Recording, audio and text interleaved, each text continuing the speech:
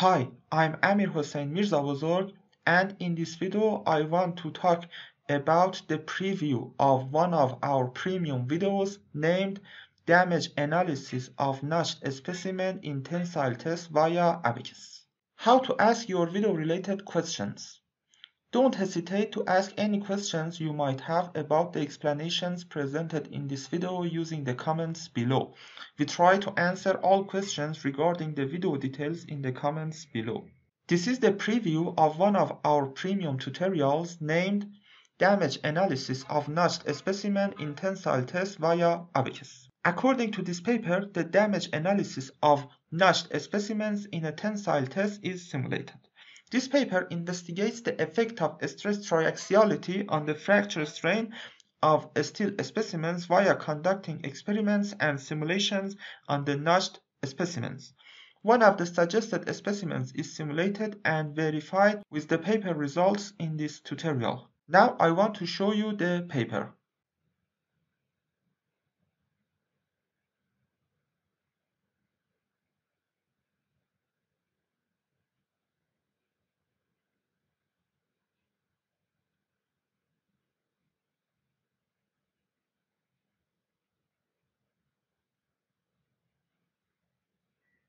About the descriptions of this tutorial, the duration of this tutorial is 1 hour and 15 minutes and the size of its zipped file is 233 megabytes and its tutor is Amir Hossein Mirzabozorg. This is a schematic of the geometry of the specimen. The width of the specimen is large enough to have a plane strain condition at the center of the specimen. And we apply tensile load to this specimen. Mechanical properties are presented in the paper. They include density, Poisson's ratio, Young's modulus, and the true stress versus plastic strain curve. Using the data graph digitizer, points of a stress-strain curve are extracted from this picture and imported to the Abaqus property module. In the premium tutorial, this specimen is simulated. As the full geometry has three symmetry planes, using all of the symmetric conditions, the 1/8 model can be created. Then, symmetric boundary conditions must be defined in the Abaqus. This vertex of the 1/8 model is the center of the full geometry that is plane strain. In this tutorial, we will obtain the red curve that is related to the numerical simulation presented in the paper.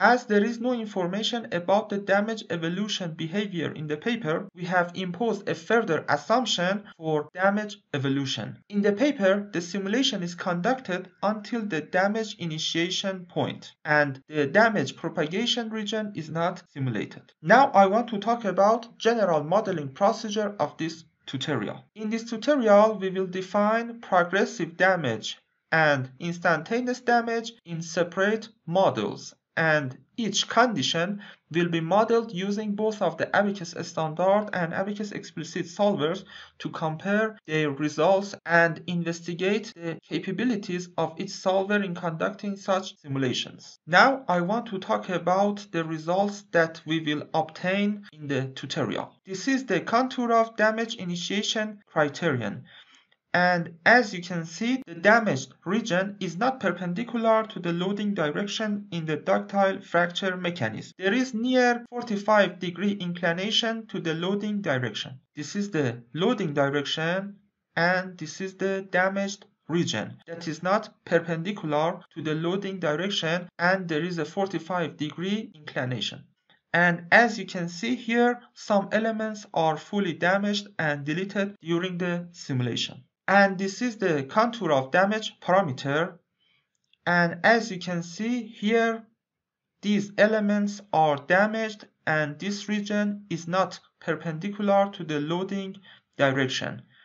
And here some of the elements are colored in red. These red elements will be removed in the following increments. And this is the curve of Mises stress versus equivalent plastic strain This is the elastic region. In the elastic region, the Mises stress increases, but the equivalent plastic strain is equal to zero. And this is the plastic region, and this is the damage initiation point, and this is the damage evolution region, and this is the fracture point. And we have defined the damage initiation point in the ductile damage criterion in the property module. In order to compare the results and investigate the capabilities of each solver in conducting such simulations, the model will be solved using Abaqus explicit solver. And this is the result of the complete specimen that is obtained by mirroring the 1/8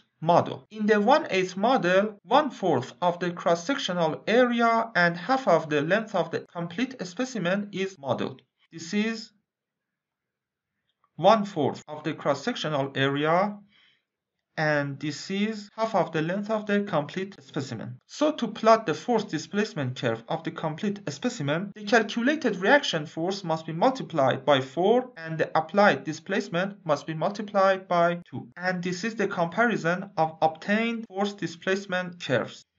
The red curve is obtained using the Abaqus standard solver and the blue curve is obtained using the Abaqus explicit solver. In these simulations, we assume that the damage behavior is progressive. In the next part, the displacement at failure will be set to zero to simulate the instantaneous damage and brittle fracture mechanism. In the brittle fracture mechanism, the pattern of the damage region and element removal is different from the ductile fracture mechanism. This is the contour of damage initiation criterion and here as you can see the damage region is perpendicular to the loading direction and these elements are removed during the simulation. This is the comparison of obtained force displacement curves using the instantaneous damage assumption. The yellow curve is obtained using the Abaqus standard solver and the green curve is obtained using the Abaqus explicit solver.